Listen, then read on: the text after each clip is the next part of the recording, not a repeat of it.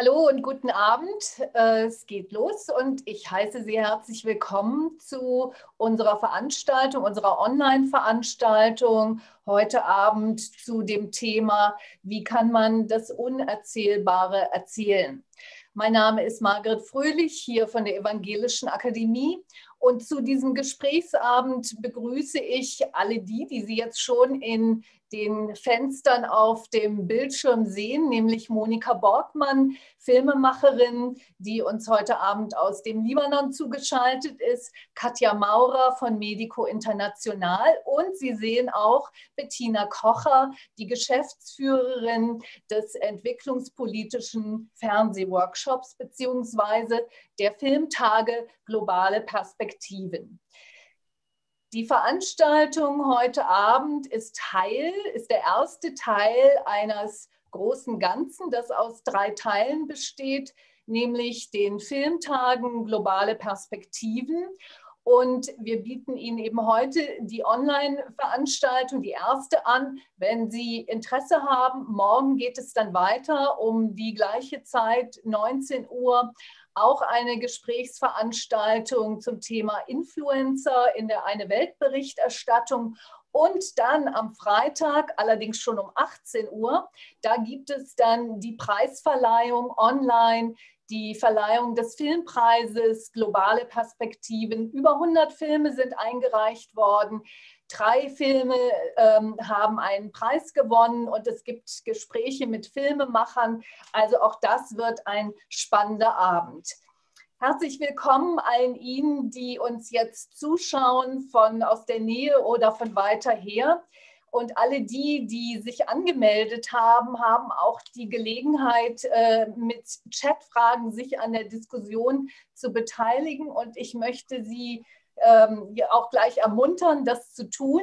Sie können das von Anfang an tun. Sie müssen allerdings ein bisschen Geduld haben. Wir haben uns vorgenommen, das erst im weiteren Teil, im späteren Teil in die Diskussion einzu, ähm, einzubringen. Ja, bevor wir gleich auch zur Sache kommen und in das Thema einsteigen, möchte ich an dieser Stelle das Wort an Bettina Kocher übergeben. Denn Bettina Kocher ist der Kopf des Ganzen. Sie hat die konzeptionelle und organisatorische Leitung für das Gesamtprojekt Globale Filmtage. Herzlich willkommen, Bettina Kocher. Sie haben das Wort. Ja, vielen Dank und ich möchte Sie auch sehr herzlich äh, begrüßen zu diesem Workshop, dem ersten Teil dieser Veranstaltungsreihe, äh, denn die Filmtage Globale Perspektiven finden ja in diesem Jahr komplett online statt. Das ist für uns ein Novum.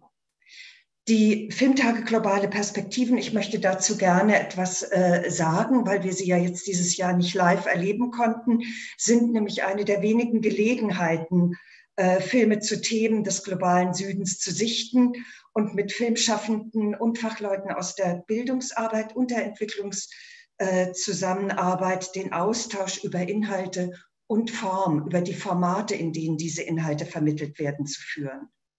Eine Jury zeichnet während der Filmtage ähm, Filme aus. Wie gesagt, die Preisverleihung ist am äh, 13. an diesem Freitag und empfiehlt Filme für die Bildungsarbeit. Und das ist auch eine der Kernaufgaben des Fernsehworkshop Entwicklungspolitik.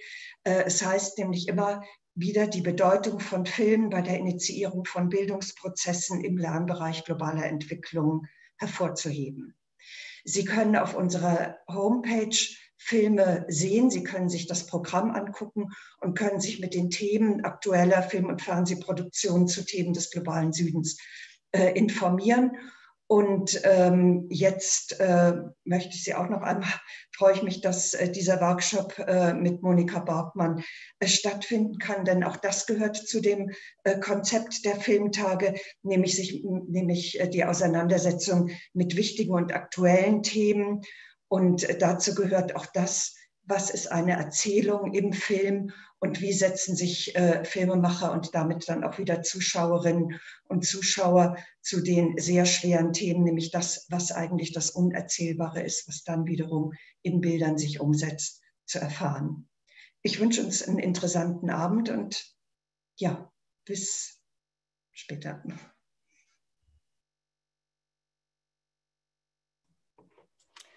Ja, vielen Dank, Bettina Kocher. Ähm, Sie haben es eben schon angedeutet, wir haben uns ein sehr brisantes Thema vorgenommen, nämlich wie kann man ähm, schwerste Erfahrungen, Gewalterfahrungen, wie kann man Kriegserlebnisse, wie kann man all so etwas erfahrbar machen und vor allem als Filmemacherin im Film erfahrbar machen. Das wird das heutige, das Thema des heutigen Abends sein. Und wir werden das exemplarisch diskutieren an dem Film ähm, Tadmor, ein syrisches Gefängnis. Das ist ein Dokumentarfilm, ein preisgekrönter Dokumentarfilm, den Monika Borgmann gedreht hat, zusammen mit Slick, Slim Lockman. Entschuldigung. Der Film äh, wurde schon 2016 fertiggestellt. Er hat bis heute nicht an Aktualität verloren. Äh, wir werfen einen Blick in die Vergangenheit, in eine Geschichte, die lange verschwiegen wurde im Libanon und worum es darum aber geht und was diese Geschichte auch mit heute zu tun hat, das, denke ich, erzählt uns Monika Borgmann am besten selbst. Ähm, ja, Monika Borgmann, Sie haben jetzt das Wort. Danke. Als erstes vielen Dank. Ich freue mich sehr, hier zu sein und ich freue mich sehr, äh, Ihnen heute mehr über den Film erzählen zu können, weil, wie gesagt, ähm, äh, das Thema, das dieser Film behandelt, äh, Gefängnis, Folter, Trauma ist nach wie vor leider ein sehr aktuelles Thema. Und ich habe heute Morgen habe ich äh, kurz einen Artikel gelesen von einem Deutschen, der auch 2018 äh, ich glaube, 48 Tage in syrischen Gefängnissen gefoltert wurde und sich jetzt irgendwo jetzt über seine Geschichte spricht. Das heißt, das Ganze ist nicht weit von uns entfernt, das will ich damit sagen. Ähm, ich möchte Ihnen ganz kurz was über unsere Protagonisten als erstes sagen. Im Mittelpunkt des Films steht eine Gruppe von Männern, äh, Libanesen, aber auch im Libanon geborene Palästinenser, die jahrelang äh, in syrischen Gefängnissen gefoltert wurden und überlebt haben. Und ja, mit jahrelang meine ich, jeder von diesen Männern war zwischen acht und 15 Jahren in syrischen Gefängnissen. Diese Männer wurden während des libanesischen Bürgerkriegs nach Syrien verschleppt. Äh, ich weiß, dass das etwas kompliziert ist zu erklären, von daher werde ich auch nicht weiter darauf eingehen. Aber sie wurden in den 80er Jahren nach Syrien verschleppt und die meisten von diesen Männern kamen 2000 nach dem Tod von Hafiz al-Assad, dem Vater von Bashar al-Assad, im Jahre 2000 durch ein Amnestiegesetz wieder frei und kehrten in den Libanon zurück. In dem Film lassen sie ihre Erfahrungen wieder aufleben, teilweise durch Erzählungen und teilweise durch eine Art von Reenacting oder Reliving oder auf Deutsch äh, eine Art von Nachspielen.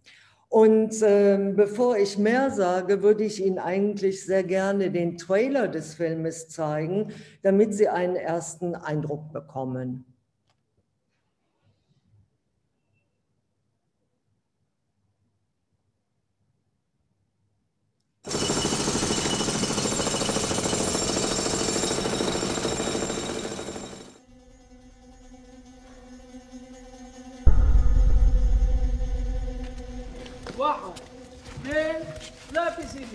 الآخر ولا أسرع ولا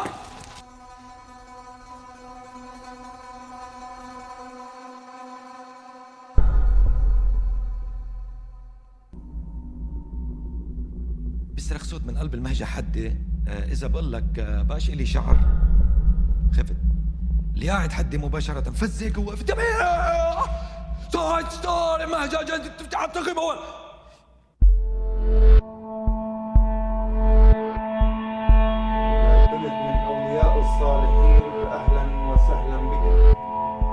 أنتوا تجانينونا أنتوا ظلمونا انت ظالمونا انت ظالمونا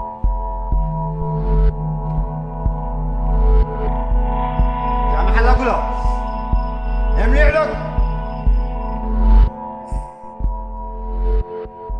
ما بيقولوا إنه النخاع الشوكي مثل شو هو اللي بي بيسيرك؟ هيك قال لي إنه لازم تقوي حالك لحتى أنت تضلك يعني تضلك عايش.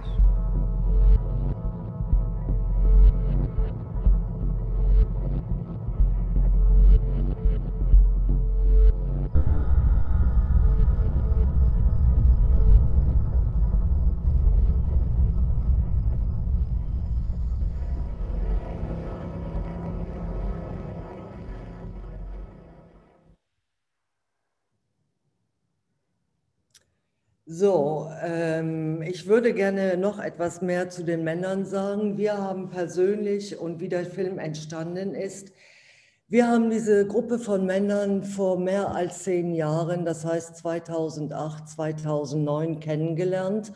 Und das bedeutet um die acht, neun Jahre nach ihrer Freilassung.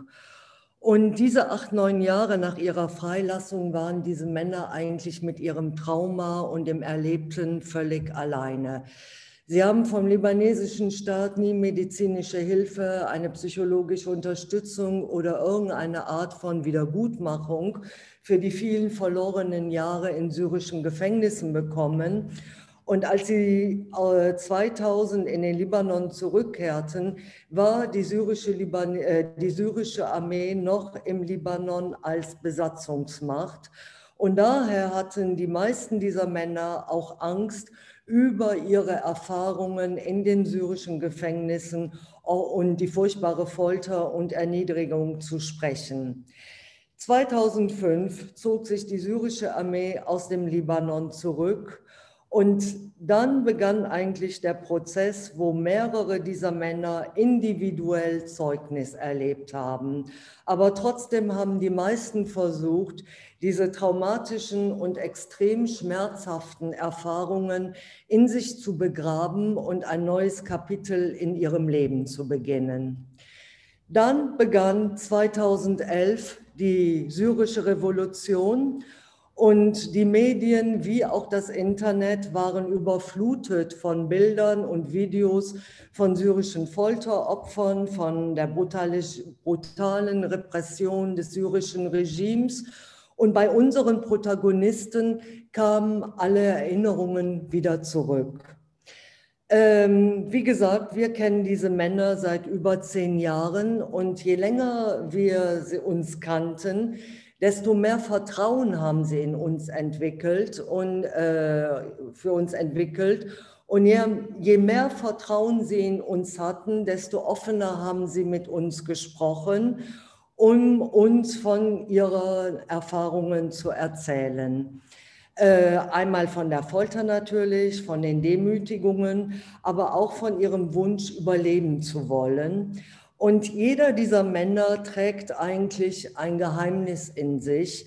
Äh, das Geheimnis, die Kraft gefunden zu haben, überleben zu wollen. Und je mehr wir von diesen Männern, von den Männern hörten, desto größer wurde eigentlich unser Wunsch, äh, mit ihnen einen Film zu machen. Und äh, wir haben und wir haben Ihnen das Filmprojekt äh, 2012 vorgeschlagen.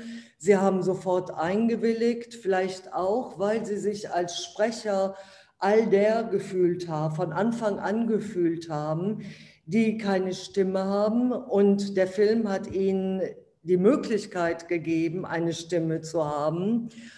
Und so ist dann während drei, vier Jahren dieser Film entstanden.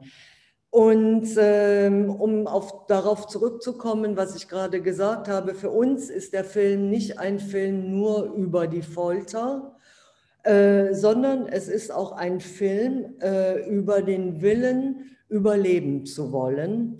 Und ich würde Ihnen gerne, äh, der Film hat zwei Ebenen. Eine sind Interviews und ich würde Ihnen gerne jetzt einen Auszug von äh, einem Interview zeigen.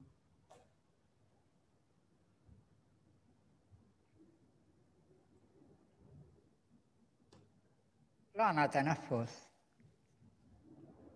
إحنا التنفس نقعد ركبنا على الأرض وإيدينا ورا ظهرنا وهيك لازم لازم لازم هيك نقعد. فزي كيف نقعد.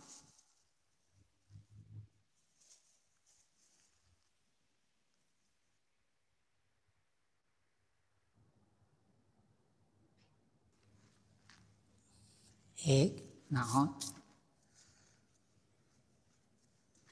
وايدينا هيك وراسنا تقريبا لازم يوصل على الأرض ونغمض عيوننا. ما لازم نفتح عيونك إذا مرق هيك من قدامك وشافك مفتح عيونك بده يضربك على عينك وين ما إجيت. إيه هيك نقعد. آه، في حفة كانت قدامنا. هون هيك. قال لي ربطني هيك على على هذا قال لي حط إيديك هيك. ما أنا ماني شايف آه، هذا قام هو شد لي إيدي وحط لي إياهم في حفة حفة هيك. حطيت إيدي هيك عليها. قال لي افتح إيديك فتحتهم إيدي. صار آه، افتح أصابعك فتحت أصابعي هيك بهالشكل هذا صار يربطني على كل أصبع باصبعه قلت أنا إذا بدي أقول آخ أو بدي أصرخ بده هو ينبسط إنه عمل شيء يعني آه، زعجني أو هذا أنا عملت حالي ما معي خبر. إيدي هودي تفزروا هودي صار نزل دم. آه، رفقاتي يعني ريمان كان معي قدامي قاعد وهذا يقولوا شو هذا عم يخبط؟ يعني يتعجبوا شو في؟ وهو عم يخبط لي كل اصبع باصبعه وبوط بتعرف بوط العسكر كيف؟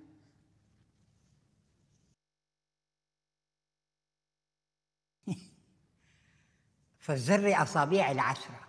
يمكن ضل واحد ما انفجر بس الباقيين كلهم نزل منهم الدم. كل اصبع باصبعه هيك على على أصبع. فتنا لجوا شافونا ال- اللي بالهذا إنه معقول؟ لك ما بكيت ما صرخت ليه؟ قلت له بدي حرقصه ما بدي خلق ما بدي فش له خلقه. إنه هو عمل شيء.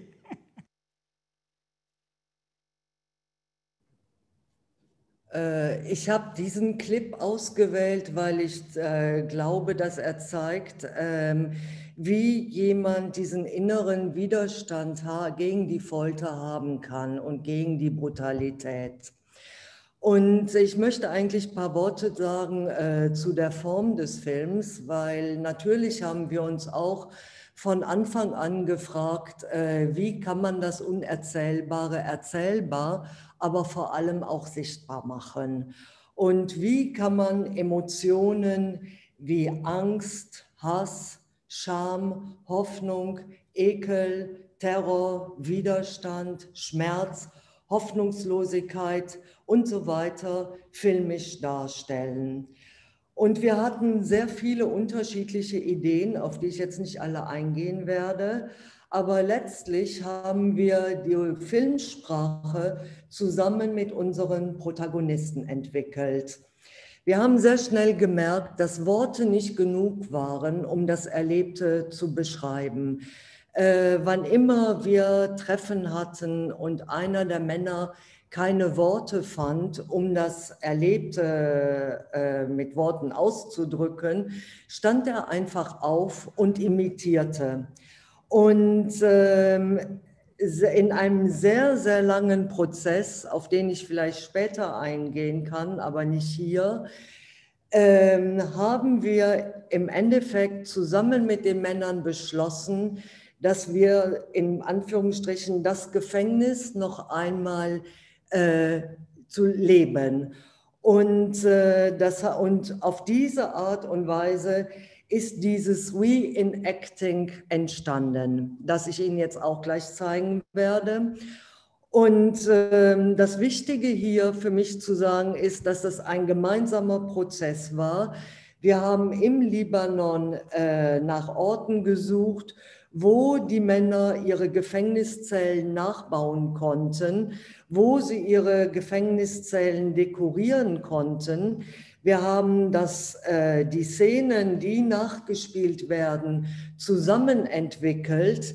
Alle Männer waren irgendwann in Isolationshaft. Nur drei dieser Männer wollten das zeigen. Wir haben kleine Ausschnitte in dem Trailer gesehen. Aber der große Dreh fand eigentlich in der Kollektivzelle statt. Und äh, das ist eigentlich die nächste Szene, die ich Ihnen gerne zeigen möchte. Es ist eine Szene, wo jemand den Schmerz nicht mehr, ähm, auch psychologisch nicht mehr aushält und mehr oder weniger verrückt wird.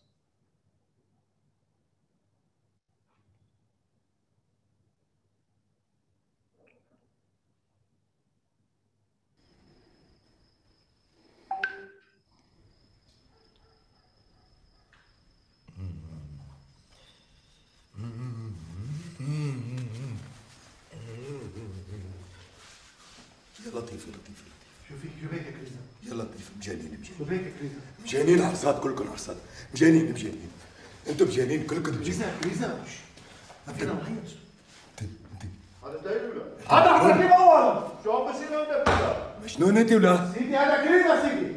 انت مجنون ولا؟ انت مجنون سيدي طالع صوته سيدي. ما بعرف شو بيه؟ يا لطيف يا لطيف. عم تعين فيه ولا؟ انت انت مجنون ولا؟ ولا لا عم تتسمعك ولا؟ حقك تجري ولا؟ انت مجنون. مجنون أنت ولا؟ أنتم مجانين ولا؟ أنتم ظلام ولا؟ أنت ظالم ولا؟ أنت ظالم ولا؟ ظالم ولا؟ والله لا خلالك عيونك والله كلنا مجانين هودي مجانين مجانين يا لطيف يا لطيف. سيدي فايز رئيس المعجة هدي سيدي؟ عم بيمثل لطيف. لطيف. لطيف. صوتك. اي صوتك عالي. بيزعجني. صوتك عالي ولا؟ صوتك عالي تبغوا تحكوا لها اسكتوا لا اسكتوا لا طيب. اسكتوا لا سكر لا سكر لا سكر لا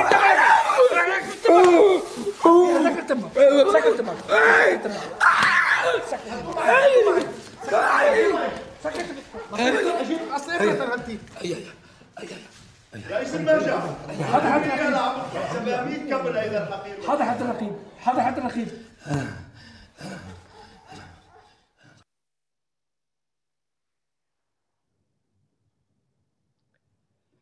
Ähm, ich werde, da, um die Szene wirklich zu verstehen, muss man vielleicht wissen, dass äh, die Männer permanent von oben äh, beobachtet wurden, äh, dass sie kein Recht hatten, überhaupt zu sprechen, äh, dass sie zum Schweigen verurteilt waren und ähm, ja, und um irgendwo die Emotionen im Inneren der Zelle zu verstehen, hatten wir das Gefühl, wir müssen auch etwas von der Gewalt irgendwo zeigen, die die Wärter den Gefangenen antun. Das sind minimale Szenen, die sind nicht sehr lang, aber ähm, wir mussten dazu, äh, die Männer auch dazu bringen, irgendwo die Rolle, nicht nur die Rolle zu der Gefangenen zu übernehmen,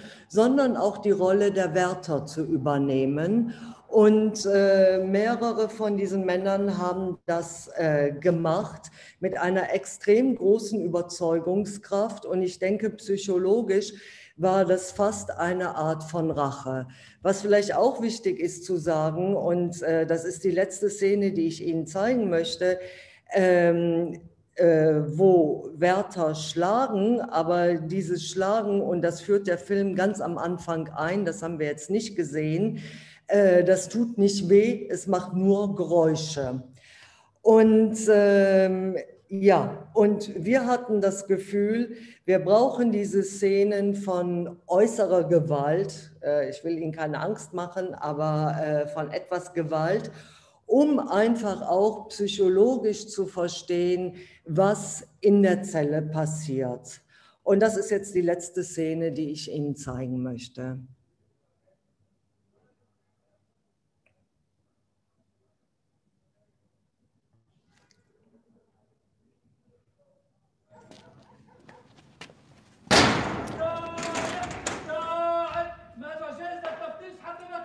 شد سيدي كل دب جوا ولا هذا سيدي هذا سيدي ثلاثة برا ولا حيوان؟ حاضر سيدي واحد اثنين ثلاثة سيدي على الآخر ولا أسرع ولا يلا يا حيوان ما تتمشى بها أسرع من هيك ولا ماشي ولا تابع ولا اسرع ولا ولا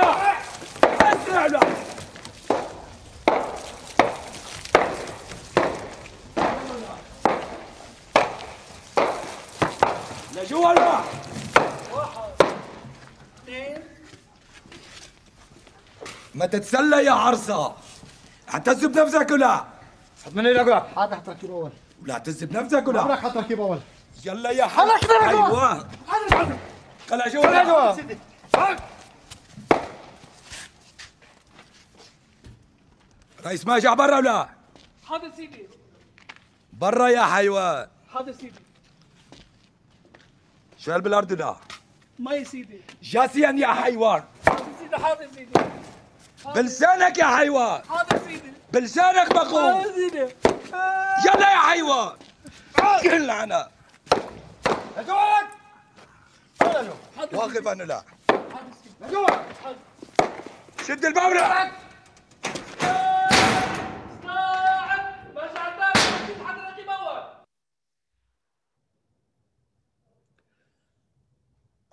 Um abzuschließen, äh, das Filmen war nicht leicht für die Männer, ähm, aber sie haben eine unglaubliche Kraft bewiesen, irgendwo so weit äh, wie möglich in diesen Nachspielen zu gehen, wie zum Beispiel in der letzten Szene. Ähm, das war improvisiert, das war nicht vorher abgesprochen. Und wichtig ist es, äh, ich möchte noch zwei Bemerkungen zum Abschluss äh, machen, die für mich sehr wichtig sind. Äh, ich glaube, dass die Männer durch den Film im Endeffekt wieder die Kontrolle über einen schmerzhaften Teil ihres Lebens wiedergewonnen haben. Und das Zweite ist, der ganze Prozess dieses Relivings, Reenactings, Nachspielens, wie immer man es nennen will, äh, wurde von einer Traumaexpertin begleitet. Äh, diese Traumaexpertin hat mich gesehen, nicht die Männer, aber ich brauchte diese, ich, ähm, ja, ich habe diese Supervision in Anspruch genommen, um einfach auch Flashbacks oder allem, allem, was hätte passieren können, vorzubeugen. Und bis heute wirklich äh, bewundere ich die Kraft dieser Männer, äh, wieder in diese furchtbaren Jahre zurückzugehen. Aber wie gesagt, diese Männer fühlen sich auch als Sprecher für all die, die nicht sprechen können, entweder weil sie bis heute in Gefängnissen sind oder weil sie es nicht überlebt haben.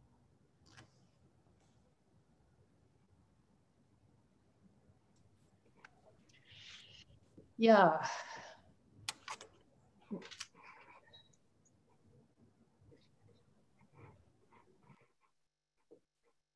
So. Bin, ich mache äh, weiter, ja. Also mein Name ist Katja Maurer. Äh, ich bin von Medico International, Frankfurter Hilfsorganisation. Äh, wir arbeiten schon sehr viele Jahre im Libanon und haben auch schon sehr viel zusammengearbeitet mit Monika und Lockmann und der Organisation UMAM. Ähm, deshalb stelle ich jetzt hier ein paar Fragen, vielleicht auch damit man noch ein bisschen besser versteht, worum es da geht. Ich möchte noch mal sagen, dass der, dass für uns als Leute, die wir die, die Situation in Ländern wie Libanon und in Syrien kennen und auch ähm, ja, auf gewisse Weise mitleiden, gleichzeitig ja genau die Frage äh, besteht, wie können wir das an das Publikum in Deutschland vermitteln? Ähm, weil hier erfährt man ja immer nur sozusagen so einen allgemeinen Horror, riesige Zahlen über Hunderttausende von Toten in Syrien, über die Grauen des Bürgerkriegs und daraus formt sich ja ein, ein Bild ähm, von diesen Regionen, ähm, das unglaublich unpersönlich ist. Und auch, äh, äh, so schwer zu ertragen ist für das Publikum, dass man äh, diese Region auch ähm, sozusagen es die ganzen Verbrechen der Region anlastet und nicht begreift, dass es hier doch äh, darum geht, dass das äh, also eine Menschheitsgeschichte ist, die uns auch betrifft. Und in diesem Zusammenhang fand ich diesen Film, auch äh, den ich jetzt die Chance hatte, ganz zu sehen, ähm, sehr wichtig, weil er eben auch dem Publikum etwas erzählt. Er erzählt äh, über die Einzelnen, weil wir uns, wenn wir den Film ganz sehen können, und ich hoffe, dass der Lockdown irgendwann zu Ende ist, und dann werden wir auch in Frankfurt auf jeden Fall die Gelegenheit äh, organisieren, den Film auch nochmal richtig zu zeigen, weil man als Zuschauer und Zuschauerin sich unglaublich mit den, äh, äh, mit den Leuten identifiziert und gleichzeitig in der Geschichte drin ist und auch, auch gleichzeitig versteht, äh, dass es alles nur gespielt ist, was tröstlich ist, sonst wäre es auch unerträglich. Jetzt zu der Frage, äh, insofern ist für mich die Frage nach, wie kann man das eigentlich Unerzählbare, dieses Grauen in diesem Foltergefängnis, tat man überhaupt erzählen, äh, ist von hier aus sehr, sehr wichtig, damit wir es auch greifen und, und, und es an uns heranlassen können. Jetzt hast du, Monika, zwei Sachen gesagt. Ähm, dass es die Kraft des Überlebens ist, was es erzählbar macht, ja? ähm, die die Leute, auch die Protagonisten selber machen und dass die Protagonisten selbst ähm, auch mit erzählen. Wie ist das aber jetzt ähm, von einem Standpunkt des Filmemachens her? Das heißt ja auch, man muss den Prozess ein bisschen abgeben. Man kann kein fertiges Drehbuch schreiben und dann sagen, so, und jetzt lasse ich alle für mich spielen. Ist das eine andere Art des Filmemachens? Äh, es ist eine besondere Art des Filmemachens, weil wir haben uns wirklich auf die Männer eingelassen. Und äh, um ganz klar, äh, um ein Beispiel zu geben, als ich angefangen habe, über den Film nachzudenken und mich gefragt habe, wie kann man diese Emotionen, wie kann man den Schmerz und, und, und darstellen, habe ich als erstes an Tanz gedacht. Ich dachte irgendwo, vielleicht irgendwie kann Tanz, der einfach auch körperlich ist, äh, wie, äh, wie die Folter, vielleicht kann Tanz das übersetzen. Und dann sind wir in diesen langen, und ich rede wirklich von drei Jahren, in diesen langen Prozess mit diesen Männern eingetreten. Und wir brauchten irgendwann keinen Übersetzer mehr. Und ich glaube, dieses Reliving Reenacting ähm, wir sind, waren in einem Prozess, wo diese Männer selber ihre Sprache gefunden haben. Und das war wirklich ein langer Prozess, um irgendwo das ganz kurz zu beschreiben. Lukman und ich, wir haben gleichzeitig eine NGO, die UMAM heißt. Und mit dieser NGO haben wir auch mit diesen Männern gearbeitet. Und wir haben 2012 haben wir eine erste Performance kreiert, die im Libanon gezeigt wurde, die dann aber auch nach äh, Deutschland eingeladen wurde und dort in fünf Städten äh, ja, äh, vor, gezeigt wurde. Und das heißt, und in diesem Moment haben sich die Männer, wir haben mit den Interviews begonnen, in dem Moment haben sich die Männer an eine Kamera gewöhnt. Und das war wirklich ein sehr, sehr langer Prozess. Und äh, äh, es ist vieles in dem Film spontan, aber es ist auch alles eigentlich nicht spontan. Und äh, wir sind, ähm, das heißt nur, um einfach nur ein Beispiel zu geben, äh, den Dreh dieser Kollektivzelle der war zwei Tage und eine Nacht. Wir haben alle dort geschlafen an dieser Location, in dieser Location. Aber wir haben diesen Dreh ein Jahr vorbereitet. Und das heißt, wir haben, äh, ja, es war ein besonderes Verhältnis, aber wir haben mit den Männern zusammen zum Beispiel beschlossen, was sind die Szenen, die wir zeigen wollen? Und ich meine, es ist irgendwie extrem schwierig, aus einem Film bestimmte Szenen auszusuchen. Ähm, und äh, was ich gezeigt habe, ist nicht hundertprozentig repräsentativ für den ganzen Film. Aber ich wollte einfach einen Eindruck geben. Aber das heißt, äh, ja, es war eine besondere Art der Zusammenarbeit. Und äh, wir haben im Endeffekt diesen Männern die Möglichkeit gegeben, einmal ihre, ihre Sprache zu finden, in der sie sich ausdrücken können und ein Publikum, also irgendwo eine Plattform und wir haben ihnen eine Plattform gegeben, wo, ja, wo ihre Stimme gehört wird. Kannst du äh, sagen, was, äh, wie, wie das genau ausgesehen habt? Habt ihr den Film im Libanon gezeigt zum Beispiel und was hatte der für eine Wirkung? Äh, ja, wir haben den Film mehrmals äh, im Libanon in diversen Filmfestivals zeigen können. Dazu muss ich sagen, äh, dass jeder Film im Libanon muss durch die Zensur gehen. Und als der Film das erste Mal gezeigt werden sollte, haben wir das Okay von der Zensur am Abend zuvor bekommen. Und äh, das hat äh, die, äh, der Film wurde an einem Freitag gezeigt. Donnerstagabend um 8 Uhr abends haben wir es okay bekommen. Das heißt aber, die ganze Zeit vorher habe ich unsere Protagonisten nie so deprimiert gesehen wie in diesem Moment, weil das Schmerzhafteste für sie war eigentlich, wir, haben, wir sind Libanesen, wir haben das erlebt und in unserem eigenen Land wird uns verboten, über diese Erfahrung zu sprechen. Und äh, ich kann die Erleichterung nicht beschreiben, die dann irgendwo da war, als der Film dann doch das äh, Okay von der Zensur bekam. Und äh, ja, der Film ist mehrmals gezeigt worden in diversen libanesischen Festivals. Und äh, die Kinos waren, äh, das Kino war jedes Mal voll. Wir hatten eine immense Presse. Äh, wir, ähm, wir hatten eigentlich geplant, letztes Jahr äh, im November den Film für mehrere Tage auch im Kino herauszubringen und nicht nur per Festival. Äh, das war ein langer Prozess, der auch sehr schwierig war, erneut mit der Zensur. Darum haben wir es auch nicht eher gemacht. Und dann brach diese Revolution aus und es gab einen Cultural Boycott und damit ist der Film nicht gezeigt worden. Inzwischen gibt es auch keine Kinos mehr. Und, ähm, oder sie sind geschlossen. Aber ähm, nein, das war, der Film war für viele Libanesen äh, wirklich ein Schock, dass sie irgendwo durch den Film auch ein Kapitel ihrer Geschichte entdeckt haben, von dem sie irgendwo abstrakt, aber nicht sehr konkret wussten. Vielleicht müsste man das nochmal erklären, kurz. Warum sind denn eigentlich Libanesen in syrischen Gefängnissen gewesen, auch jetzt fürs Publikum vielleicht. Ja, das ist irgendwie eine etwas komplizierte Geschichte. Ähm, der Libanon äh, hat einen Bürgerkrieg erlebt, von der 1975 begann und äh, 1990 endete.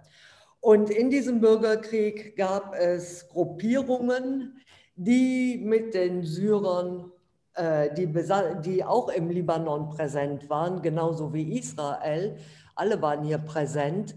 Es gab Gruppierungen, die mit den Syrern zusammengearbeitet haben, äh, aber es genügte im Endeffekt auch zum Beispiel ähm, einer Gruppierung anzugehören, es gab zig Gruppierungen, einer Gruppierung anzugehören, die gegen Syrien waren.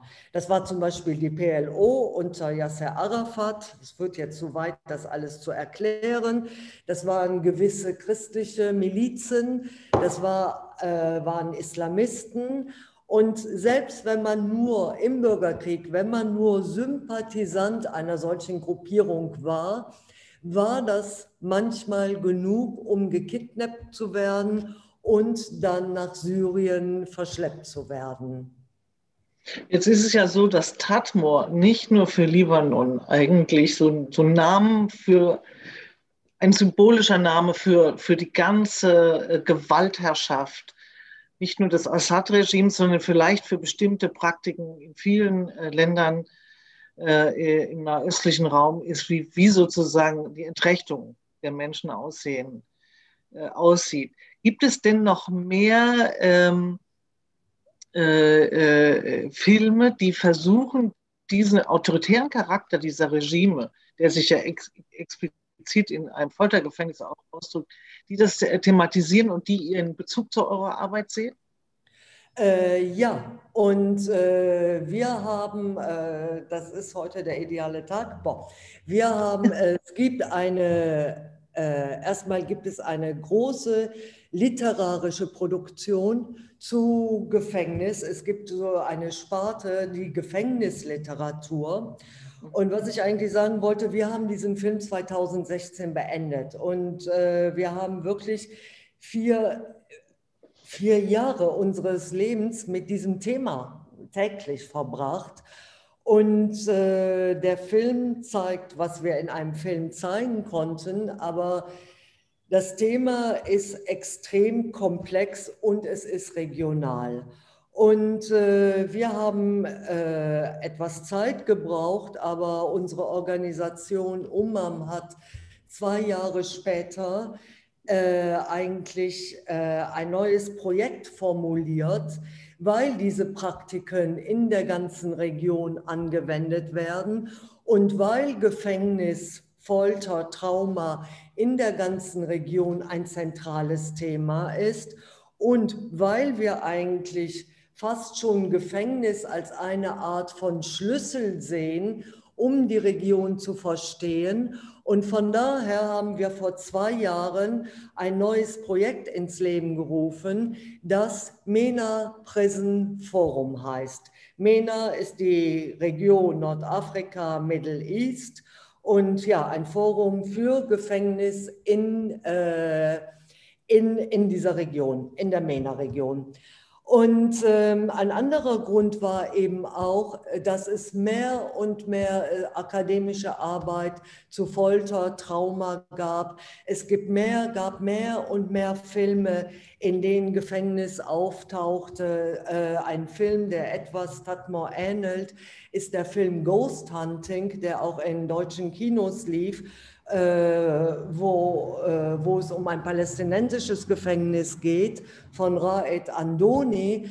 Der, äh, Gefängnis, Folter, Trauma ist ein, ein Thema in sehr vielen Kunstprojekten. Es ist in der Literatur und wir hatten das Bedürfnis ähm, oder wir haben geglaubt, dass der rein Human Rights Oriented Approach der, der reine äh, Human Rights oriented an, der, dieser Ansatz nicht ausreicht. Und genauso wie nur der künstlerische, der künstlerische Ansatz reicht auch nicht, nicht aus, sondern das MENA Prison Forum ist ein interdisziplinäres Projekt, wo wir Künstler, Filmemacher, Schriftsteller, Überlebende, äh, Anwälte, Richter, äh, Aktivisten zusammenbringen um Gefängnis, Folter, Trauma neu zu denken.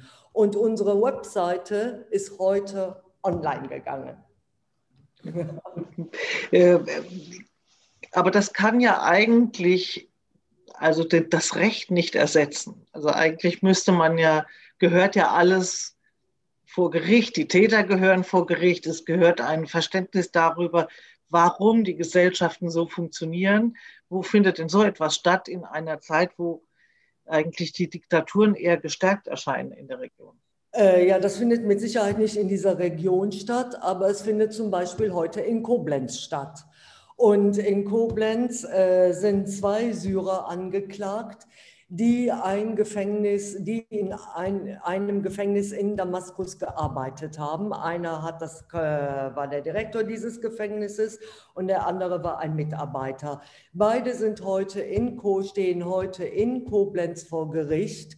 Und dieser Prozess ist extrem symbolisch für nicht nur für Syrien, sondern für die ganze Region, weil das ist das erste Mal, ähm, dass ja irgendwo äh, es gibt eine Accountability, es gibt äh, äh, Rechenschaftspflicht. Ja, ja, danke. Und, ähm, und ich wünsche mir nur, dass mehr und mehr irgendwo auch auf Arabisch über diesen Prozess in der Zukunft berichtet wird. Und es gibt Projekte, die in diese Richtung gehen weil irgendwo auch ein arabisch sprechendes Publikum zu erreichen, ist extrem wichtig. Und äh, ich weiß, dass es äh, in anderen europäischen Ländern werden ähnliche Prozesse angestrengt. Äh, was es auch gibt, äh, es gibt die Sanktionen gegen syrische ähm, Verantwortliche. Und all das sind einfach Zeichen, die von deren Symbolkraft nicht zu unterschätzen ist für diese Region. Und äh, sind, ist euer Film auch in anderen äh, Ländern äh, äh des arabischen Raums äh, gezeigt worden? Ja, er ist in Palästina gezeigt worden, er ist in Tunesien gezeigt worden, er ist in Marokko gezeigt worden und, ähm, ich, und in Jordanien. Und damit hört es auf. er ist natürlich Was? nicht im Golf gezeigt worden, obwohl wir Gelder vom Golf hatten, um ihn zu produzieren. Aber es gab ein sehr offenes Filmfestival, das es inzwischen nicht mehr gibt. Äh, er ist natürlich nicht in Ägypten gezeigt worden, äh, wo ähnliche Zustände äh, herrschen. Ja, es ist in den mehr oder weniger liberalen Ländern, wenn man in Anführungsstrichen dieser Region gezeigt worden. Und wenn du jetzt über die Bedingungen des Filmemachens dabei nochmal nachdenkst, weil das ist ja jetzt sozusagen, es übersteigt doch die Idee vom klassischen Filmemachen. Ja? Also ihr seid ja jetzt auch politisch involviert, ihr wart auch vorher schon politische. Also wie geht sozusagen der Prozess, der Wahrheitsprozess der Kunst und der Wahrheitsprozess äh, der Politik nebeneinander her. Also muss ja auch ein bisschen unabhängig voneinander sein. Ja, ja, und äh, wir sind auch nicht die, äh, wir sind nicht die Personen, die jedes Jahr einen neuen Film drehen, genau. sondern irgendwo Tat, Tatmor, Palmyra, äh, es hat drei Jahre gedauert, diesen Film zu machen. Und aber gleichzeitig ähm, ergänzt das eine das andere. Und äh, ja, das ist irgendwie, das sind Prozesse, die ein bisschen schwierig sind zu beschreiben, aber wir sehen es wirklich als komplementär an. Ne? Wir trennen es, aber gleichzeitig es ist komplementär. Und diese extrem intensive Arbeit zum Beispiel mit unseren Protagonisten in dem Film hat uns, äh, die drei Jahre lang wirklich auf täglicher Basis war, hat uns wirklich, äh, hat uns verändert und hat uns wirklich äh, ein, das System von Gefängnis, äh, die Bedeutung von Folter, die Bedeutung von Trauma äh, wesentlich besser verstehen lassen was uns heute irgendwo auch für uns wieder zugutekommt für unsere laufenden Projekte. Und in dem Sinne, es ist nicht dasselbe. Wir trennen es zu einem gewissen Grad, aber es ist komplementär, würde ich sagen. Also vielleicht mache ich noch eine letzte Frage, Frau Fröhlich, dass Sie dann nochmal äh, einsteigen können. Und es gibt ja jetzt auch Fragen aus dem Publikum, was vielleicht dann doch auch das Ganze ein bisschen auflockert. Äh, ich habe trotzdem nochmal gedacht, diese ähm, zu, zu, deiner Rolle, du bist ja eigentlich äh, Journalistin und Filmemacherin. Ne? Also du komm, bringst ja schon auch so eine, so eine Professionalität äh, dafür mit. Trotzdem, wenn ich jetzt, wenn wir jetzt der Frage nochmal nachgehen, erzählbar, so unerzählbar, erzählbar machen, was bedeutet das für deine Position als Filmemacherin? Also ist es nicht doch, dass man sich anders riskieren muss, als man das vielleicht gewöhnlich tun würde?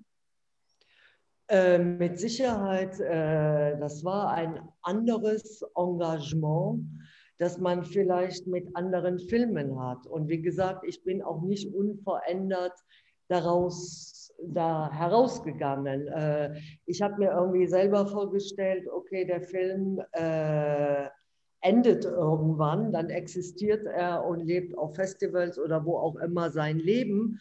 Und dann kehre ich zu meinem normalen Leben zurück. Aber ich war so tief drin, es äh, hat ein halbes Jahr gedauert, bis ich selber wieder rausgekommen bin. Und äh, das waren nicht immer einfache Prozesse, äh, weil auch, was vielleicht auch wichtig ist zu sagen, äh, jeder unserer Protagonisten hat eigentlich seine Rolle wieder eingenommen, die er auch im Gefängnis hatte. Das heißt, irgendwo die Person, die in Anführungsstrichen den Chef der Zelle spielt, weil jede Zelle hatte einen Chef, war auch im Gefängnis selber äh, in dieser Position. Die Männer, die raus, die man in der letzten Szene gesehen hat, die rausgelaufen sind, waren die Personen, die auch in Wirklichkeit rausgelaufen sind. Und natürlich, diese Männer haben zu kollektiv auch überlebt, aber eben auch individuell. Und selbst im Gefängnis, es war nicht einmal alles spannungsfrei.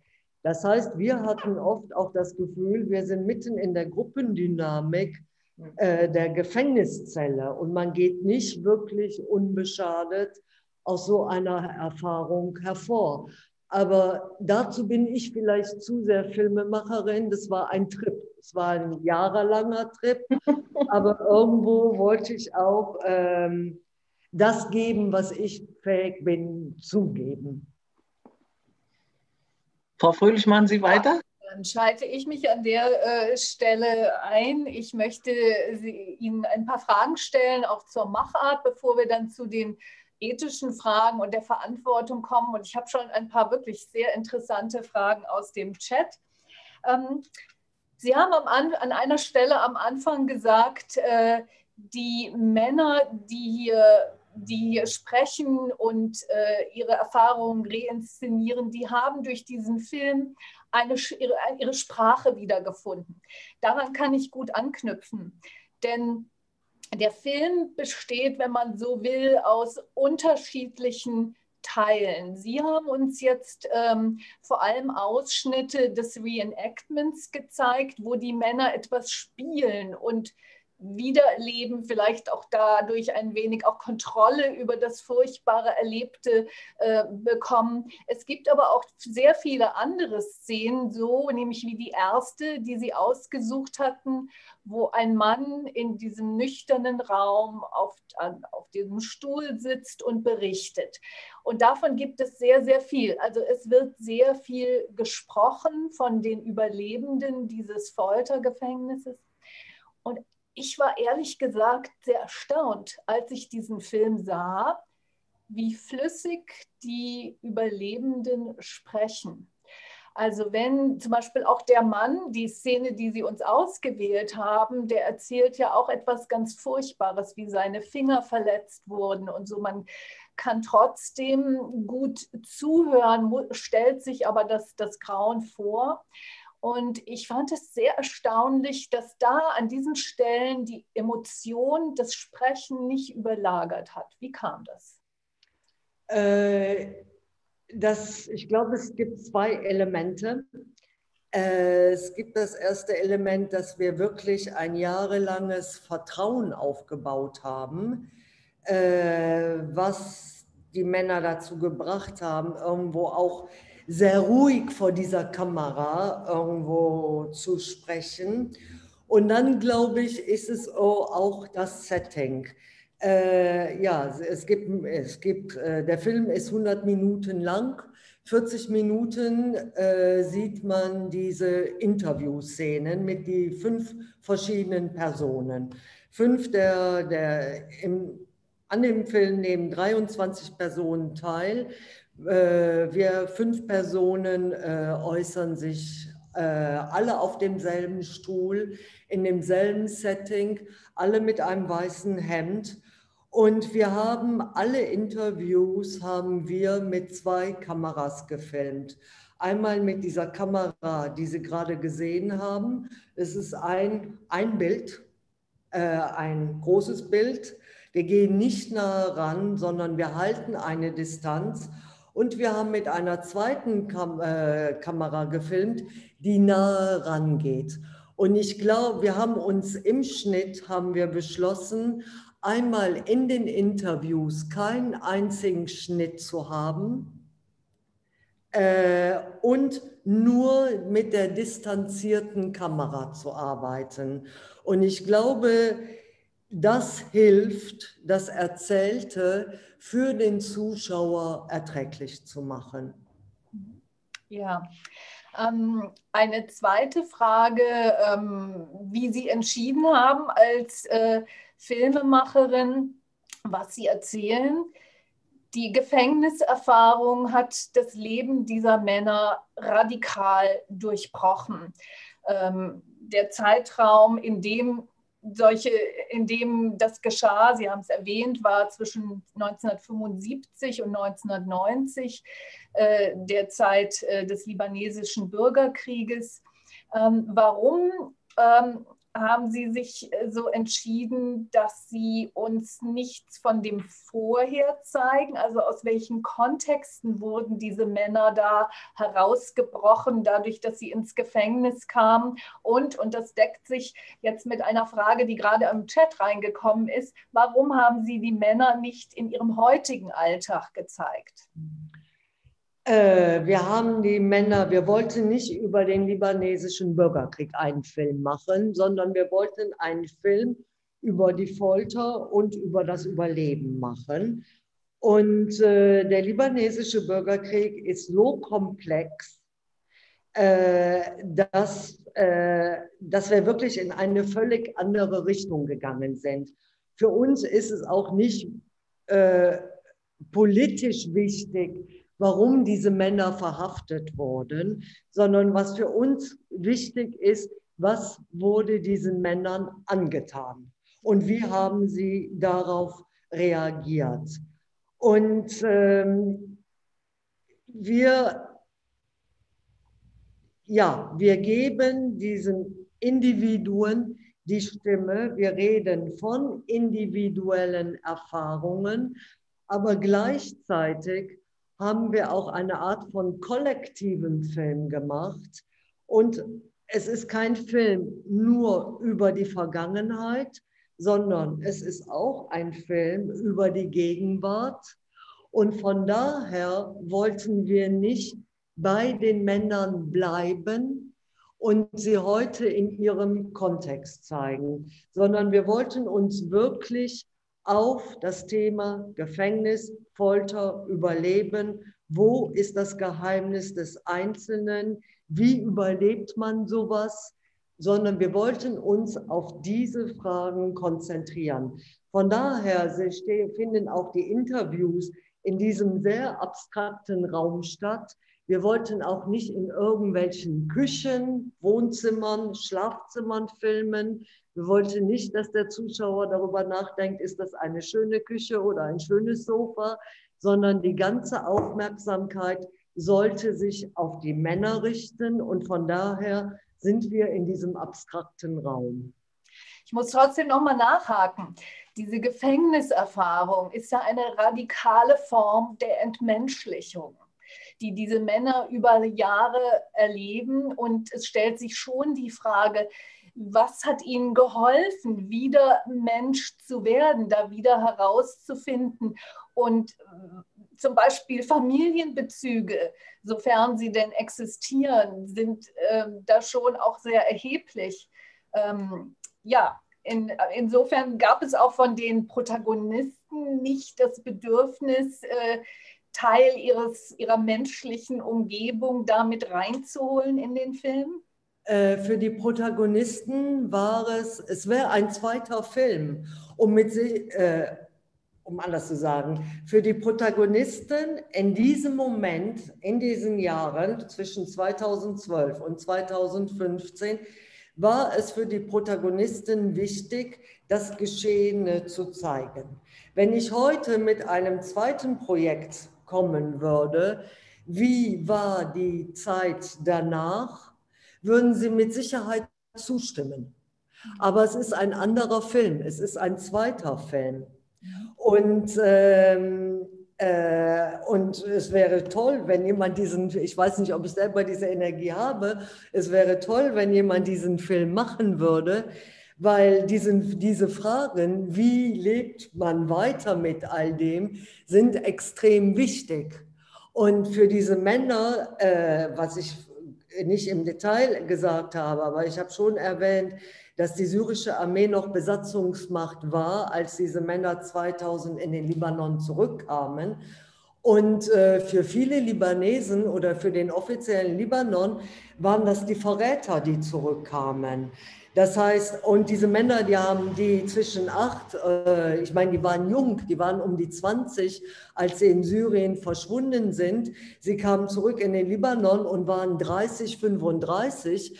Das heißt, diese Männer haben auch die besten, nicht die besten Jahre ihres Lebens verloren, aber sie haben die Jahre verloren, wo man sich selber konstruiert. Das heißt, sie hatten dann auch in diesem Nachkriegslibanon nicht wirklich die Chance, irgendeinen Beruf auszuüben, sondern irgendwo die meisten äh, von dieser Gruppe sind Fahrer, entweder Taxifahrer, Busfahrer, private Fahrer oder son sonstige Fahrer. Zwei arbeiten mit Aluminium und mit Stro Elektrizität und so weiter aber viele fahren. Und ich denke, dieses, dieses Momentum des Fahrens ist einfach auch wichtig, weil Fahren war äh, zumindest am Anfang nach dem Gefängnis, gab das ein Gefühl von Freiheit. Dieses Gefühl von Freiheit haben sie natürlich heute nicht mehr nach 20 Jahren fahren. Heute irgendwo versuchen sie irgendwie Geld zu damit zu verdienen. Aber am Anfang, nach den Jahren in einer Zelle, plötzlich in einem Auto zu sitzen und herumzufahren, das hat diesen Männern ein Gefühl von Freiheit gegeben. Ihre persönliche Geschichte, ja, manche haben ihre Frauen wiedergefunden. Einer unserer Protagonisten kam zurück ähm, und erfuhr von seiner Frau, dass sie sich scheiden lassen will. Andere haben nach, äh, hatten keine Freundin, Frau vorher, sondern haben dann danach eine Familie gegründet. Äh, eine Familie zu gründen war für alle extrem wichtig. Es gibt einen Protagonisten, der nicht in Interviews zu, äh, und das ist irgendwie eine schöne Geschichte, die ich hier gerne erzählen würde. Ähm, einer unserer Protagonisten, der nicht in den Interviews sofort kommt, aber in dieser Kollektivzelle, war verlobt mit einer Frau, die Susanne hieß. Äh, er wurde auch festgenommen, nach Syrien gebracht und war 14 Jahre in syrischen Gefängnissen. Und das Schlimmste aller Gefängnisse war Tatmor, Palmyra, und wo viele dann eben mehrere Jahre verbracht haben. Aber bevor ihrer Freilassung kamen sie dann irgendwie in andere Gefängnisse, die weniger hart waren. Und äh, dort hat zum Beispiel dieser Ali, unser Protagonist, aus Olivenkernen, aus Hühnerknochen, Schmuck für seine Verlobte geschnitzt und fabriziert. Und äh, die Liebe zu dieser Frau hat ihn eigentlich am Leben erhalten. Und diese Frau hat 14 Jahre auf ihn gewartet, ohne zu wissen, ob er jemals zurückkommen wird ohne zu wissen, ob er, wenn er zurückkommt, ob er unbeschadet zurückkommt oder ziemlich verrückt. Ähm, und heute sind sie verheiratet und haben vier Kinder. Es ist eine Geschichte mit Happy End. Ja, ähm, schön, dass es die gibt. Ich schaue jetzt mal hier auf die Fragen, die ähm, in unserem Chat reingekommen sind. Ähm, Sie haben am Anfang äh, davon gesprochen, dass Trauma eine Traumatherapeutin dabei war. Das, dahin geht nämlich eine Frage. Ähm, ein Teilnehmer möchte wissen, ob bei den Dreharbeiten Traumatherapeuten ähm, involviert waren.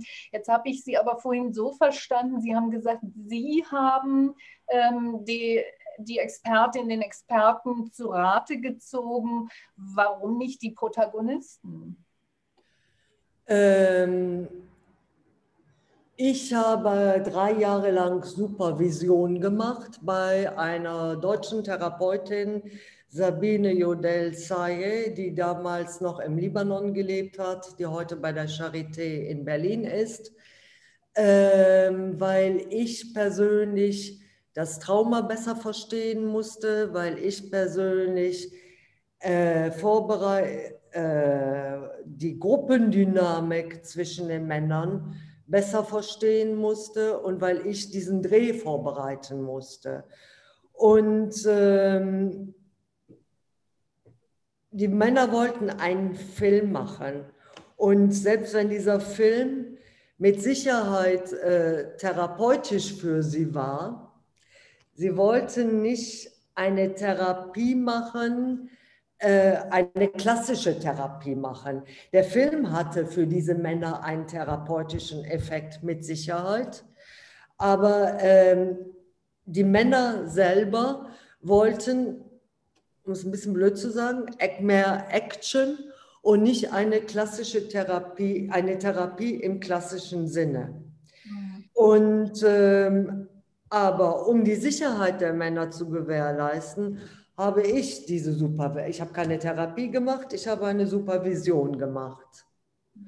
Und indirekt war die Therapeutin permanent dabei, selbst beim Dreh. Sie war nicht vor Ort, aber indirekt war sie dabei. Und ich glaube, ich war in meinem Leben noch nie so gut auf irgendetwas vorbereitet wie auf diesen Dreh. Ich war vorbereitet, wenn was ich machen soll, was ich machen kann, was ich machen muss, falls einer der Männer ein Flashback bekommt und, und, und, und, und. Aber das war eine gemeinsame Entscheidung, auch zwischen der, der Therapeutin und mir, dass das eine dass so, dass diese Supervision möglich ist und den Männern diese nötige Sicherheit vermitteln kann für den Dreh. Ich muss dennoch nachfragen, aber im Libanon selbst gibt es schon so ein Verständnis ähm, äh, ja, von Traumabetreuung ähm, trau traumatischen Erlebnissen? Ist das gewissermaßen eine gesellschaftlich anerkannte Tatsache oder ist das schwierig?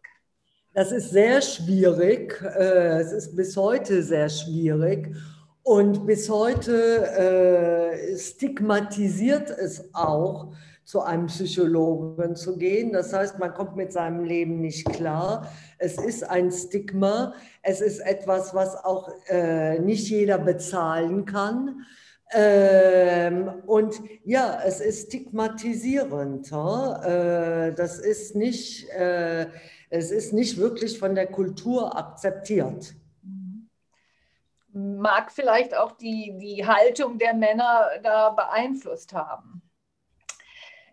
Ich habe jetzt noch eine weitere sehr interessante Frage, nämlich ob es Szenen gab, die äh, Sie dann beim Schnitt bewusst äh, weggelassen haben, weil sie zu grausam für das Publikum gewesen wären. Ähm, es gab keine Szenen, die, weil wir haben nicht, äh, nein, es gab keine Szenen, die wir weggelassen haben, weil sie zu grausam waren.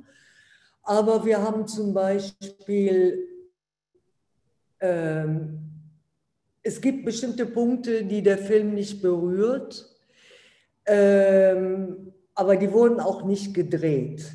Was zum Beispiel der Film nicht direkt anspricht, ist sexuelle Gewalt. Weil sexuelle Gewalt, ich meine, irgendwo inzwischen, aber äh, hört man viel über sexuelle Gewalt an Frauen, Männern, Kindern in syrischen Gefängnissen. Äh, aber es ist nach wie vor ein Tabu. Und da wir wollten, dass, äh, dass die Männer sich mit dem Film identifizieren und wirklich fühlen, dass es ihr Film ist, haben wir nicht irgendwo über das Thema sexueller Gewalt gesprochen. Es kam immer wieder indirekt vor, aber dann, wenn jemand darüber gesprochen hat, hat er nicht gesagt, irgendwo, es ist mir passiert oder ich wurde sexuell, sexuell missbraucht, sondern es passierte mit jemandem, der mit mir in der Zelle war. Das heißt irgendwo, ähm, auch die Erzählung, so die Erzählung wurde anders. Die Erzählung war nicht mehr so direkt, wie sie normalerweise in den Interviewszenen im Film zu sehen ist. Und wie gesagt, da wir wollten, dass sich die Männer mit dem Film identifizieren, wollten wir sie nicht in Anführungsstrichen zwingen, über etwas zu sprechen, über das sie nicht wirklich sprechen wollen. Und das heißt, wir haben das auch nicht gedreht. Aber die Dem es gibt Szenen in dem Film, wo die Demütigung, äh, wo es irgendwo Anspielungen gibt, wo man nicht sehr weit davon weg ist, sich vorstellen zu können als Zuschauer, dass auch so etwas passiert ist. Aber es wird nicht direkt angesprochen. An das, was Sie eben gesagt haben, würde ich gerne eine Frage anknüpfen, die vielleicht auch so etwas wie eine Schlüsselfrage ist, nämlich die Frage nach Ihrer Verantwortung als Filmemacherin. Sie sind Deutsche, Sie leben im Libanon, Sie erzählen die Geschichte von Männern, die Sie selbst zum Glück nicht selbst äh, erleiden mussten und was würden Sie sagen? Also ich, ich, nehme an, dieses Thema der Verantwortung, was darf ich, was kann ich, wo muss ich aber auch aufhören und mein Gegenüber mit seinen Grenzen respektieren. Wie sind Sie damit umgegangen? Wie haben Sie diese Frage bearbeitet für sich? Ähm, das war, da hat mir, natürlich habe ich mir diese Fragen gestellt. Und äh, zum Beispiel niemanden irgendwo zu zwingen, etwas zu sagen oder über etwas zu sprechen, über das er nicht sprechen möchte. Von daher war das auch ein langer Prozess. Ich habe auch irgendwo insofern nie die Männer, wie gesagt, es war nicht immer nur harmonisch, es gab eine Gruppendynamik in der Gefängniszelle und diese Gruppendynamik, äh, weil ja, sie haben zusammen überlebt, aber jeder hat auch irgendwo individuell überlebt. Und äh, diese Gruppendynamik kam auch in der Arbeit an dem Film wieder hervor. Das heißt, es gab Momente von extremer Spannung und so weiter. Aber ich habe versucht, das nie auszunutzen, mich nie auf irgendeine Seite zu stellen. Und aus genau diesem Grund, weil ich diese Verantwortung hatte, habe ich auch mich zu einer Supervision entschlossen. Haben Sie den, den Männern, den Protagonisten einzelne Szenen gezeigt vorher, bevor der ganze Film fertig war? Oder haben Sie die Protagonisten den Film erst dann gesehen, als er fertig war? Ja, äh, so sehr, ja, nee, drei Jahre lang, zwei, drei Jahre lang äh, war ich im täglichen Kontakt mit diesen Männern und wir haben an diesem Dreh gearbeitet und sie waren in allem involviert. Als der Film geschnitten wurde, äh, was auch mehrere Monate gedauert hat, habe ich mich, habe ich alle völlig ausgeschlossen, weil dann ging es darum, einen Film zu machen und äh, nicht irgendwie darum, dass jemand sich fragt, wie oft komme ich in dem Film vor und wie sehe ich aus und wie oft kommt jemand anderes vor und wer redet mehr und wer redet weniger und, und, und, und, und. Weil äh, man kann den Film dann auch nicht nur einem zeigen, sondern man muss ihn allen zeigen und dann gibt es keinen Film mehr. Ein Film ist kein demokratisches äh, Produkt. Von daher habe ich mich völlig zurückgezogen. Teilweise haben wir den Film in Frankreich geschnitten, auch nicht im Libanon. Das heißt, ich war auch physisch nicht da, auch wenn ich den Kontakt behalten habe, permanent. Ich habe den Film in den Männern das erste Mal gezeigt, als er komplett fertig war, mit Sound, mit Color Corrections, äh, mit allem. Ich habe ein Kino gemietet ähm, und die Männer haben den Film das erste Mal äh, in den besten Konditionen als Kinoereignis gesehen. Und das war ein sehr bewegender Moment. Das kann ich mir vorstellen. Ja, ich habe noch äh, weitere Fragen aus dem Chat. Äh, jetzt ist eine Frage, die richtet sich auf die Wirkung des Films. Sie haben eben davon gesprochen, welche Wirkung er erzielte, als er im Libanon gezeigt wurde, vor Ort in der Gesellschaft, die sich mit dieser bislang verschwiegenen Thematik auseinandersetzen will, auseinandersetzen muss. Diese Frage hier zielt auf die Wirkung, die Sie beim deutschen Publikum erzielen wollen. Sie haben ja schon Erfahrungen gemacht. Der Film ist in der Schweiz, habe ich gesehen, durch in vielen Städten gezeigt worden, hatte da ein Verleih. Ähm, auch Festivals kommt wahrscheinlich doch auch in Deutschland, wird er hoffentlich noch zu, mehr zu sehen sein. Und die Frage lautet, mit welchem Gefühl, welchen Fragen oder Lerneffekten soll ein deutsches ähm, Publikum aus dem Kino gehen? Ähm, ich hoffe, dass der Film beitragen kann, äh, ein Verständnis auch äh, einmal für, für diese Männer, für Syrien und für diese Region zu entwickeln, aber auch eine politische Verantwortung.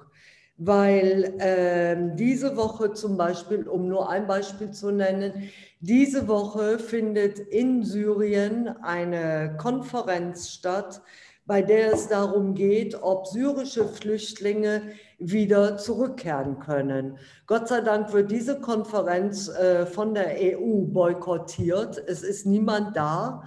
Aber ähm, das, was man in dem Film sieht, ist ein winziger, ein kleiner Teil von dem, was heute in Syrien passiert. Und ich wünsche mir wesentlich mehr Empathie für Flüchtlinge aus Syrien oder ähnlichen Ländern, äh, für die irgendwo Unvorstellbares erlitten haben. Ich wünsche mir, dass es irgendwo eine Bereitschaft gibt, irgendwo mit dieser Empathie, diese, ich weiß, dass es sie gibt, äh, zum großen Teil jedenfalls, aber ich hoffe, dass sie, diese Empathie auch bestehen bleibt und dass äh, äh, kein syrischer Flüchtling wird heute freiwillig äh, nach Syrien zurückkehren. Einmal, weil es ein kriminelles Regime wie nach wie vor äh, die Kontrolle hat und zweitens, weil das halbe Land zerstört ist.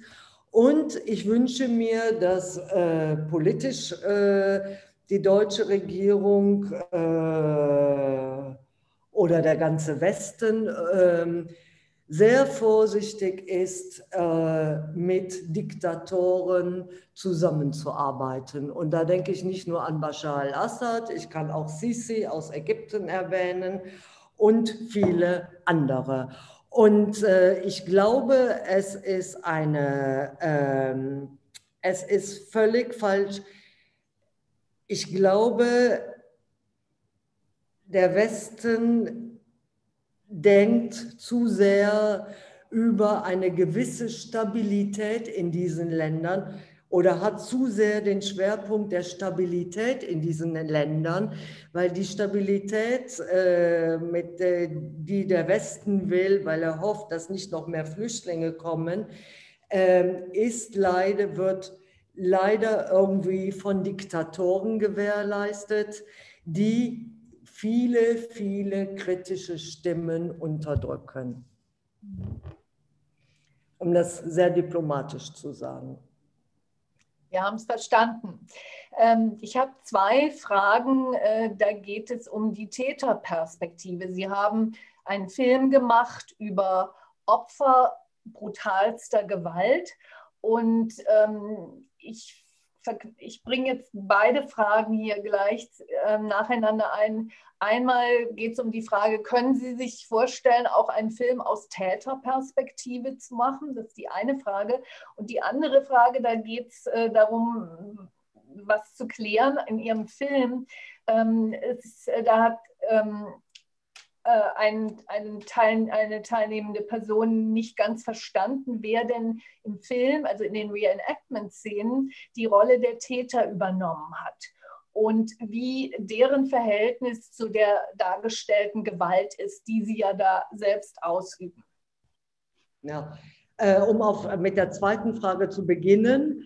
Äh, die Täter werden von den, äh, von den Überlebenden selber gespielt.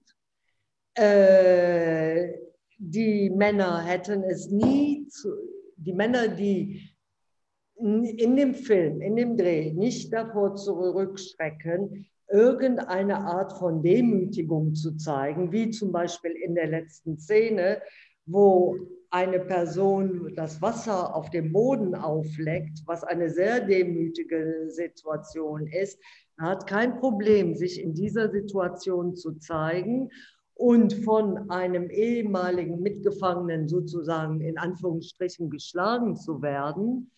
Äh, aber keiner dieser Männer hätte akzeptiert, dass irgendjemand, der nicht zu ihrem Kreis gehört, der kein Überlebender ist, äh, die Rolle der Täter einnimmt. Die Rolle der Täter konnte nur von den Überlebenden selber gespielt werden. Ich weiß, dass wir zu. Ich weiß nicht, ob ich. Wenn ich kurz einhaken darf, war das denn immer aufgeteilt, wer einen Täter spielte und wer. Das sind drei Personen. Es sind drei Personen, die Täter spielen wollten und die einen, einen gewissen Spaß in Anführungsstrichen dabei haben. Und ich denke, es war eine Art von verspäteter Rache, ähm, was äh, es gibt vor allem eine Person, die Saad heißt, äh, die sehr überzeugend diesen Täter spielt.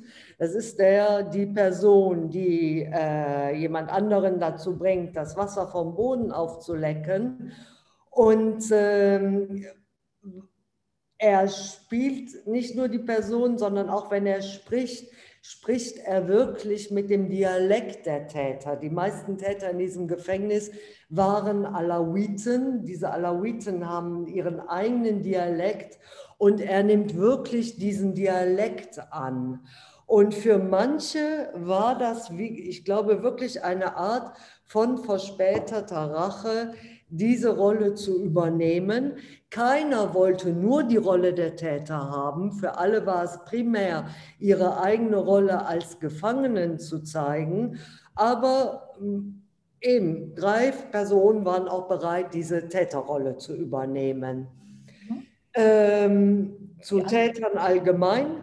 Äh, unser erster Film ist die Täterperspektive. Lukman und ich, mein Partner Lukman und ich, wir haben einen ersten Film gemacht, nur mit sechs Tätern. Der Film heißt Massaker, der wurde 2005 auf der Berlinale gezeigt. Und dieser Film porträtiert sechs Männer, die während des Massakers von Sabra und Shatila 1982 im libanesischen Bürgerkrieg getötet haben. Und man sieht nichts anderes als die Täter. Das heißt, wir sind äh, im Endeffekt wir, wir glauben daran, dass man Tätern eine Stimme geben muss und wir glauben aus mehreren Gründen daran.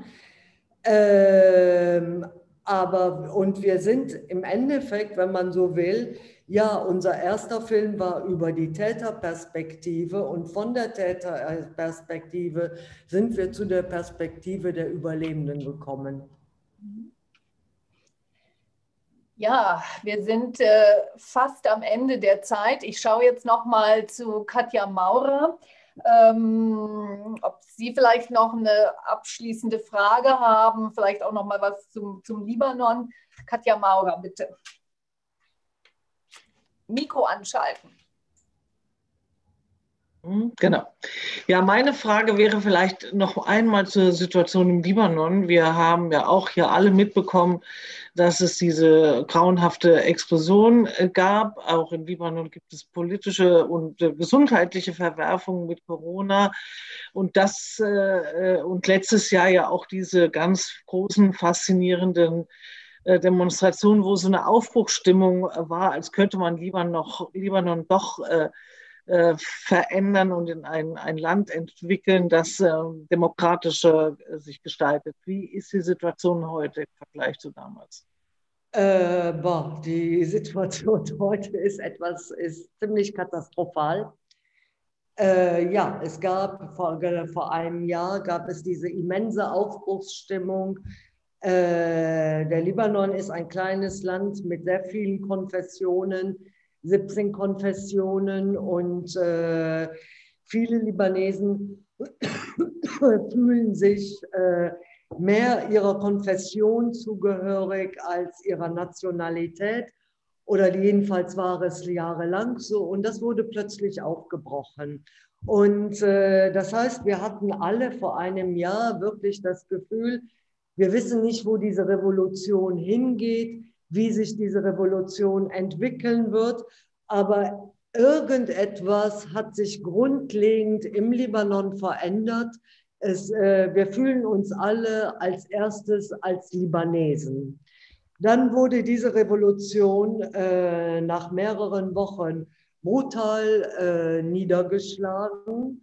Ähm, dann kam Corona, dann kam die Explosion und äh, am 4. August, äh, wir sind jetzt wieder äh, Corona, wir erleben jetzt die zweite Welle von Corona. Und gleichzeitig gab es eine immense Inflation hier im Libanon. Ähm, der Staat ist bankrott.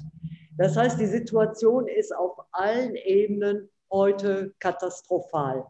300.000 äh, Leute wurden betroffen von der Explosion. Viele haben ihre Wohnungen verloren. In den letzten drei Monaten wurde, der Staat hat nichts gemacht. Es wurde etwas renoviert. Inzwischen hat es angefangen zu regnen in Strömen. Das heißt, irgendwo, äh, es funktioniert nichts. Es gibt kaum Medikamente. Es gibt, äh, die Preise haben sich verdreifacht. Äh, nein, es ist rundherum eine katastrophale Situation. Und eigentlich fragen wir uns alle, wann diese katastrophale Situation erneut explodiert.